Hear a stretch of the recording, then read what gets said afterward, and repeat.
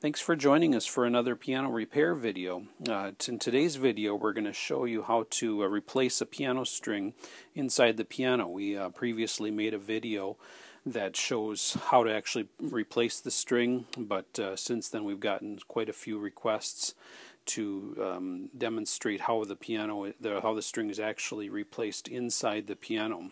So that's what we're going to be going through today. Um, here we've got uh, in front of you, we, we, sh we show, um, this is a console piano. And uh, over here we've got uh, actually two strings that are missing. Um, they um, so this would be uh, demonstrating two broken strings. Uh, not very common. You have two that are broken right next to each other, but uh, here we're missing two two strings. So you might come across a piano that um, has has a string missing, and uh, uh, you know the the coil might still be on the pin um, because if it broke, um, you'd still probably see the coil unless somebody took that off. Uh, so what I've done, I've already moved removed the the coil, this the string coil from the tuning pin, um, and uh, turned out the each of the two pins, um, actually each of the four pins, uh, half a turn. now, uh, what you want to do is you want to make sure that um, uh, before you go to put uh, the string on the on the tuning pins, that you turn the pins out far enough so that you have room to wind the string onto the pin. And as you, as you wind that string on, the pin's going to go in further. So you want to make sure it's uh, turned out far enough that you've got room to uh, turn turn the the string onto the onto the pin. And we're going to be showing you how to do it without taking the pin out okay? In our previous uh, installation video we showed it with the tuning pin out of the pin block and I showed you how to put the pin uh, the string on the pin and then insert that into the pin block. But here we're going to do it so uh, we're gonna we're gonna do it with the pins just leaving them in the piano. Um, not taking them all the way out but we want to make sure that um, they're turned out far enough. So I'm gonna go I've already turned it out, each one out half of a turn. So I'm gonna go that's another half a turn, which would be two. We want to do three turns total, okay, because we're going to get uh, three or three and a half probably, because we've already got, um, uh, we're going to put about three uh, coils onto the, onto the pin. So we've got it out one, one and a half, two, two and a half, and 3. Okay, so that ensures that we're going to have enough room for the string, and we're going to do that with the same one, or the with the other um, pin for that for that string. That makes two or one because I already did one half. One and a half, two, two and a half, and three. Okay, and the other thing is you want to make sure that the makes it a little bit easier is that is that the hole um, where the tuning pin goes or where the string goes through in the tuning pin is um, facing up and down okay because that makes it easier because your string is going to come up here from from the underneath. And the, uh, you might be wondering if you're not sure why we do two pins. Well the reason is because uh, for almost all the strings um, one piece of wire one one string is actually going to go down, wind around a hitch pin. Over These pins down here are called hitch pins. And so the string is, the wire is going to come down, wrap around these, uh, these right here are the bridge pins, wrap around the bridge pins, and then hook around the hitch pin and then come back up and, and uh, attach to the other tuning pin. So for the great majority of the of the plain wire strings, this doesn't apply to the to the bass strings, which have copper windings on them. But the great majority of the plain wire uh, strings will be configured that way, where you've got one piece of wire, one string that will actually do um, do two tuning pins or two two strings that you see here. Um, so um, that's why we we're doing two uh, two tuning pins. Now, what you want to do, I've got a piece of the old wire. If um, if you don't have the old wire, you, you're going to have to try to measure because you want to make sure you replace it with the same size. If you don't have the old wire, you're going to have to either measure the string next to it, uh, or if you've got the coil, you can uh, uh, unwind a piece of the coil and, and measure the wire that way. But um, you do want to make sure you replace it with the same size wire that was in there originally. Sometimes the wire sizes are written uh, or stamped on the plate. Uh, this one doesn't have it, but uh, some pianos do have that where, you know, it'll say like 13 here. That means uh, this is 13 and any of them after that until you see the next size. So maybe this one say is 13 and a half, 14 and 14 and a half and so forth. So, but, um, but again, um, I measured this and we've got another video that shows you how to actually measure this the wire with a micrometer. Uh, this one is 32 thousandths of an inch, which is 0.032 inches, um, which uh, equates to size 13 and a half on our um, piano wire uh, gauge chart. So um, I'm going to I'm going to use this um, this piano wire. I've got a 10 foot length, which is how, how we sell it. Uh, this up here, the the strings are actually shorter, so a 10 foot length of wire I'm guessing is probably going to be enough to to do two strings up at this end. Okay, if we went further down, you know, the 10 foot would be only be enough for, for one string, but for the most part that'll be enough to replace any plain wire string. So, um, this is size 13 and a half, and what I do is when I handle piano wire I wear gloves um, because the oils in our skin or the acids in our skin can uh, cause rust or corrosion on the, on the string after a period of time. So I'm just going to unwrap this string so we can replace the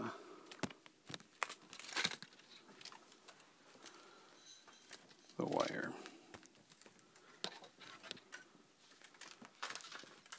Okay, now what I'm going to do is uh, generally what I'll do is uh, what you're going to do is you're going to put the string into one of the tuning pins and here I've got, uh, you can use a tuning hammer for this if you want to, to turn the pin, but I've got uh, this, uh, this piece here, it's a ratchet star head, it's got the star shaped tip, um, and it's meant for a 3 8 inch ratchet.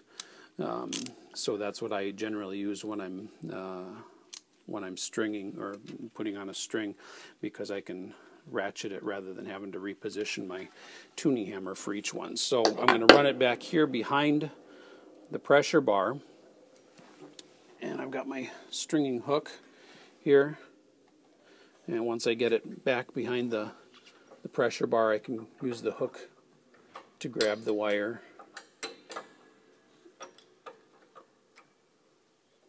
And pull it out. Okay. And what I'm going to do is I'm going to take it right over here And sometimes, and in this case, sometimes it's easier to grab it with, with a needle nose pliers so you can get it, because sometimes it's tight quarters in there. And what you want to do is you want to get it into the hole.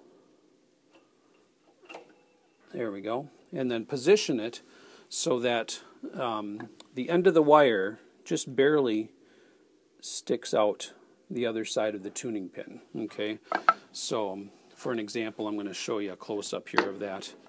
Here I've got a, a tuning pin. Okay, so when you're going to, when you put the wire through, okay, you want to do it so that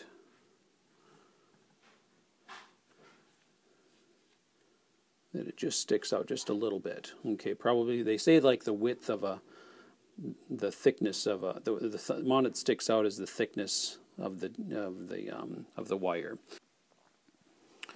Now what you're going to do here is um, coil the wire onto the onto the pin, and once you get it turned on a little bit, I'm just going to hold this in place with my finger. And what you want to do is make sure that you're turning the pin uh, clockwise. Okay, so uh, if you're coming from the top, you're going to be going to the to the right. Okay, and so if you hold that with your finger, and then make sure as you come around.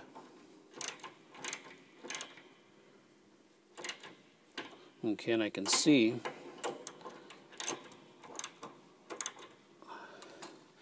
Then I'm going to want to use my coil lifter and string spacer, which is here. It's got a hook at the end to hook onto that wire to make sure that my string stays uh, in the right position.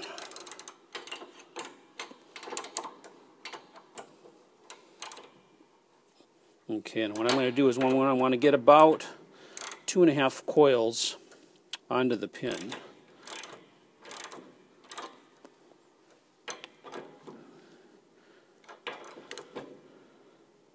Okay, so there's about two and a half. Okay, and then what I'm going to do is going to take some parallel pliers, tighten up that becket. The becket is the part that uh, that um, goes right through the through the hole. Okay, and once I've got that in place, I'm going to hook it and wrap it around the hitch pin, or the bridge pins, I'm sorry, the bridge pins. And of course, this is the middle pin, so I'm going to use the middle set of bridge pins for this string. And then I'm going to go down and wrap it around the hitch pin, make give that a nice tight uh, twist. And then, just to kind of get a general um, size, I'm going to cut this extra long. Okay, I'm going to only have to do about three inches beyond the tuning pin, but I'm going to go extra long here. So I've got this uh, just so I don't have that extra wire hanging around. Okay, but I've gone gone quite a ways um, above the, as you can see, I've gone quite a ways above the tuning pin. We only needed to go about three inches, but um, wanted to make sure. I'm going to do the final cut once I get it into into place here. Okay, so then what I'm going to do is wrap it around the other. Well, probably before they do before I do that, I'm going to run it up here behind the pressure bar. And I'm going to wind that up there so I can grab that.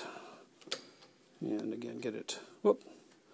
I Got caught in behind the other the string next to it, which we don't want to do.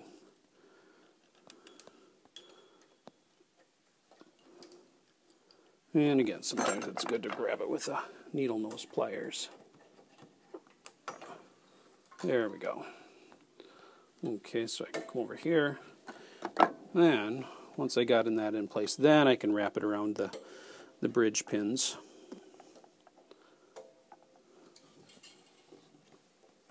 And have that in place. Then, once I've got it uh, generally in good in in good position, then I can go ahead and uh, measure.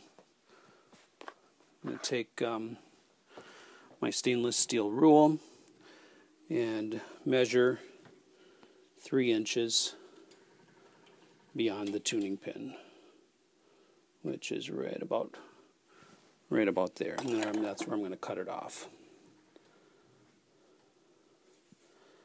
Okay, so that's the length that I need. Um, so we can pull this back a little. Okay, it'll come. It can come off the bridge pins um, because we can get that back in place once we once we get it close to uh, being tight as, as tight as we want it to be. But I'm going to take this and get it put into the hole.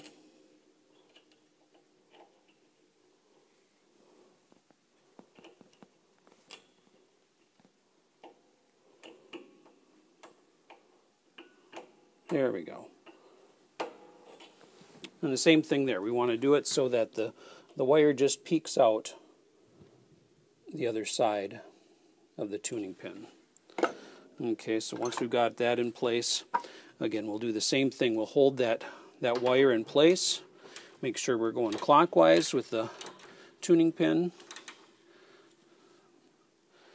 And I'm going to use my coil lifter and string spacer here to keep it going in the right. So we get a nice tight coil. You can use a stringing hook too to hold the hold the string. Okay, and there I've got a full coil and a half, and so I'm going to tighten up the the becket. It kind of gives a bend to that becket.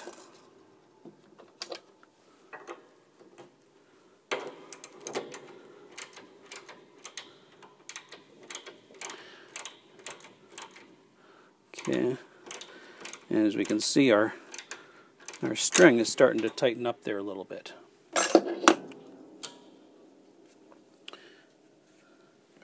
And so I'm going to now wrap it around the bridge pins.